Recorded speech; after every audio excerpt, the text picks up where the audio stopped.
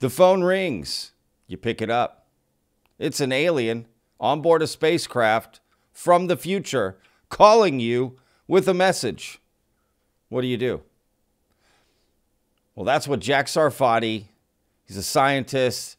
That's what he claims happened to him when he was a young boy.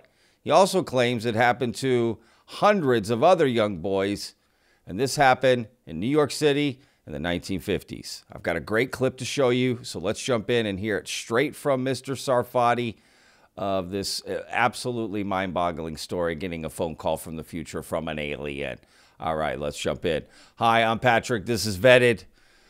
Hit that subscribe button, y'all. If you want to see videos like this every day, we put out a new one every single day, 12 p.m. Central Standard Time, USA. Of course, hit that like button. That really helps us out a lot. And lastly, please comment down below what you think of the story. It's absolutely bonkers, y'all. So I can't wait to see uh, what y'all say about Jack Sarfatti in general. If you know who he is, I'll put a link down in the description of more about him. Um, and of course, a link to this video, this clip I'm about to show you. He went on Danny Jones's podcast a few months ago and he dropped this story, which I'd never heard before. So let's just jump in. I moved back with my mother when I'm about 13 in Brooklyn, and that's when the phone call happened. The, the uh, I'm alone, uh, and my mother's somewhere out. It's a summer night, it's a nice warm summer night, probably August and uh, the phone rings, and I pick up the phone and I hear, uh, you know, first, you know, I can hardly I hear just like, um, like you know, like coordinates, you know, like numbers, like seven, six, uh, yeah, but in a strange voice, uh, but very low, and then, and I'm trying to listen, I don't quite, you know, can't get it, and then the volume increases, volume increases, and I hear also clunking, like switching circuits. Oh, I also had a, I was reading a book at the time on the early computers, mechanical relay computers called switching circuits, Bell Laboratories. Mm. So I'm, I'm hearing like the clunking. So it's like it's like a computer. Okay, what I thought, you know, what people thought of computers. Well, 1953, hardly anybody even knew what a computer was, but I did. You know, uh, and so uh, and then gets louder, and then Stephen Hawking. you know Stephen Hawking? Oh yeah. Okay. Well, was you know what he sounded like because he couldn't talk? The mm-hmm. metallic mm. voice. It's the it's the Stephen Hawking voice in 1953. Okay, I'm hearing this right, and it says and identifies itself as a computer on board a flying saucer from the future. Hmm. Back from the future. Okay. Verbatim.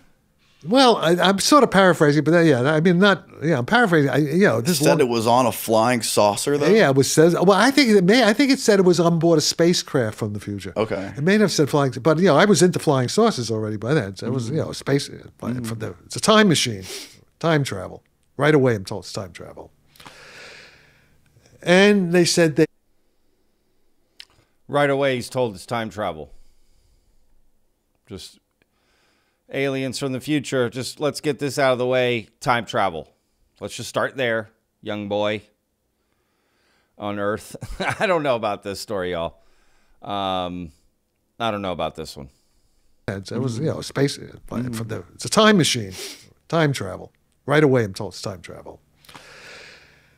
And they said they that uh, they are contacting uh, uh several hundred. I think they said even 400. I think I heard the 400 young receptive minds that they want to teach their technology to. Bear in mind what's happening now, you know, with the congressional all this stuff, right? Mm. They want to teach their technology. And at first I thought, you know, because I was a pretty streetwise kid, and uh, I thought it was, you know, it's a joke. I thought it was a joke because I'm, I'm not, you know, I'm not out of touch with reality. I mean, I, I, how old are you? I was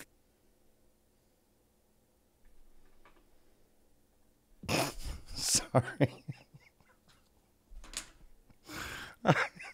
Sorry. Let me.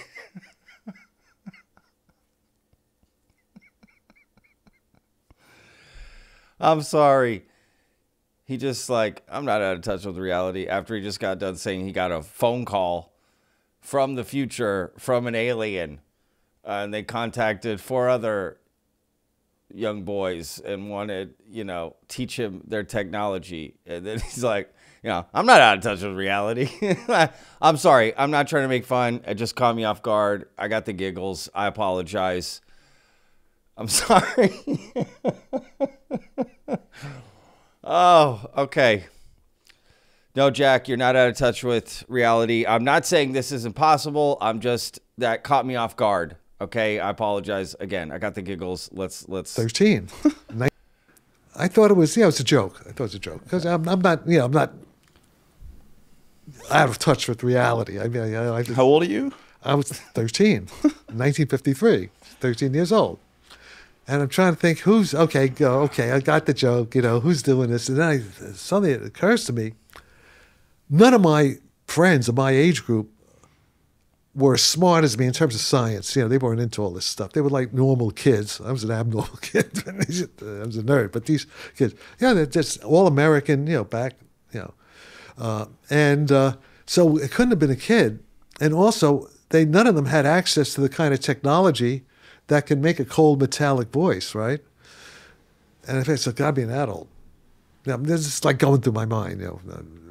And uh, and then so, so that could be dangerous. You know, that was you know, knew that there may be weirdos around. And, uh, but then it said, so I, yeah, I let it continue. And it said I had to now tell them out of my own free will if I wanted to participate in this project. and then, you know, did you ever see this thing with, you know, like you have the little devil on one shoulder and the angel on the other shoulder saying, do it, do it, don't do it, don't do it. You know, like, uh, and I'm thinking, and I'm thinking to myself, no. I think, you know, internal dialogue, no. But then I feel like an electric shock go from the base of my spine to the back of my head here. Like it's a, you know, like an electrical feeling. And I hear myself saying yes. All right, this is interesting. And then, and then they say, um, Oh, and they also said that I begin. Uh, they said good, and now they said I will begin to meet the others in twenty years. So it's got to be time travel. They're telling me what's going to happen twenty years in the future. Seventy-three, right? So just let's let's catch up here just for a moment. Okay, so he's he's home alone, gets a phone call. It's got a metallic voice. Okay, right? Um, sounding like Stephen Hawking. He hears numbers and little clicks and it tells him um, it's a computer uh, on board a spacecraft or a flying saucer from the future, back from the future. He corrects himself again. Um, and they're looking for around 400 young and what was it like, you know, smart minds, right, to teach their technology and that and now he's adding on that he will then meet and then he asks him do you want to participate with us?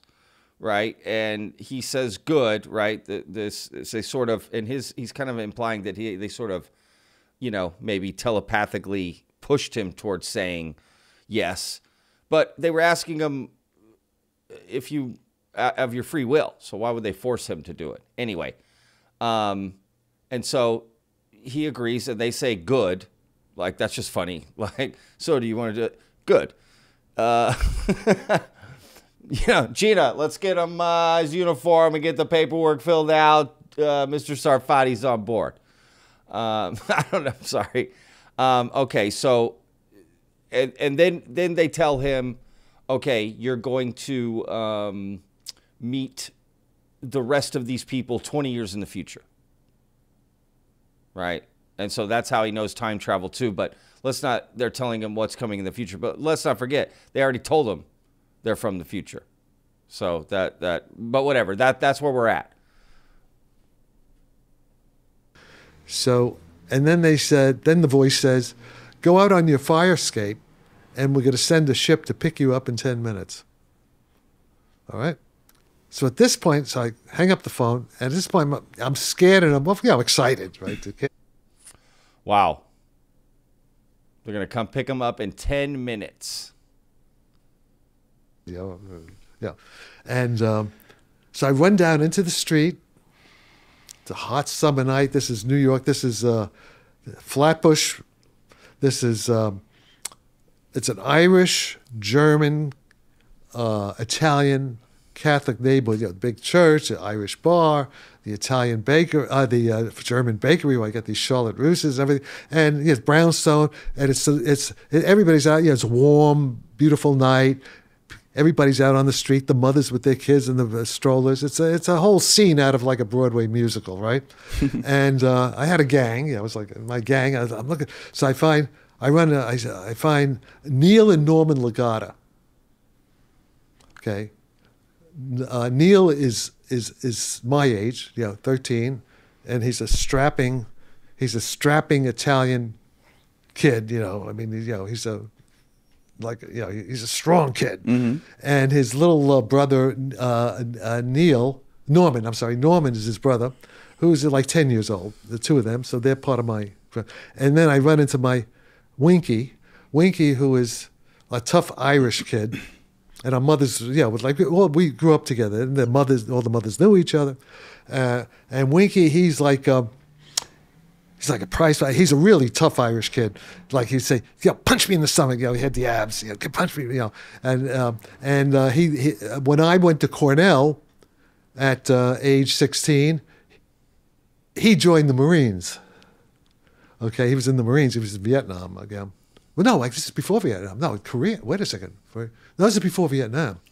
Let's go, Jack. Did they come pick you up in 10 minutes or not? That's what we're all waiting for. We don't we don't want to hear about your friends Winky and, you know, Stinky and Minky and, you know, the prize fighter. Let's go. This is uh 56, yeah. Okay. This is yeah, this is uh, right after Korea.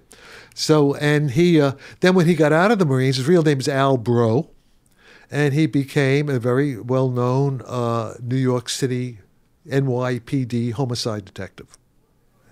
Okay, I, I don't know if he's still alive. He may- What does All this have to do with so anything? These are my. So we all said the flying sauce is coming to get me, coming to pick me up, and you know. So the four of us kids, we go up to my place within the ten minute period, and that's it. Nothing ever happened. Nobody showed up. No, they didn't show up, as far as I know.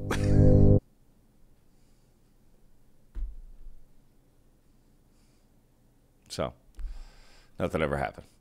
Now, I will say this. Um, I have seen in other videos um, that he later claims that um, he did meet some of these people later on in life, 20 years later, and that that came true. And those people, some of those people are names you might know in the community. Hal Puthoff, Yuri Geller. That's who Jack Sarfatti claims also received these phone calls from the future.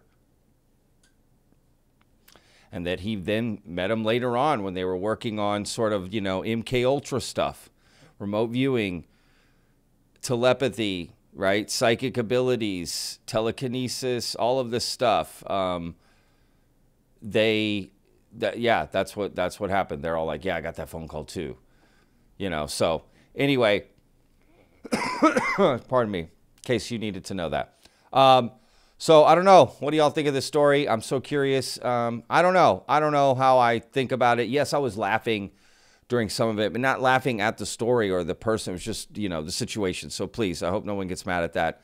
I'm not laughing at you know this at all. Um, that was just funny. Um, sometimes we're gonna laugh. Okay, can we not just have a little fun sometimes too on the channel? Jeez. Um, uh, yeah, I, I don't know what I think about this. Um, it's interesting. I mean, that's for sure.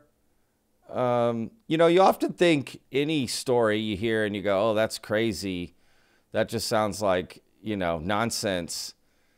But then you think if aliens came here, how do we know what they're going to do? How they're going to contact us? We have zero clue. So technically, anything is a possibility you know, oftentimes for me, it comes down to the person telling the story. And what feeling do I get from them? Not so much what their story is about, if that makes sense. You know? So, anyway, um, I don't know. Again, what do y'all think about Jack Sarfatti? What do you think of this story? I'm so curious. Can't wait to read the comments. So, as always, hope y'all enjoyed the video. If you haven't already, hit that like button. Again, that really helps us out a lot. And it's free, y'all. You know, it's free. Um, and of course, again, hit that subscribe button, y'all. We're trying to get to 3,000 before the end of the year. And like I said, we put out a new video every day, 12 p.m. Central Standard Time. So, as always, remember, every day's a gift. We'll see you on the next video tomorrow. Peace, y'all.